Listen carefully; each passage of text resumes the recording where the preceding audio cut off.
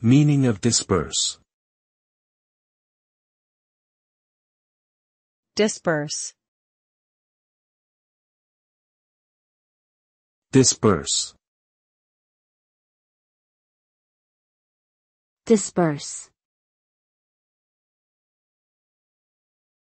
Disburse.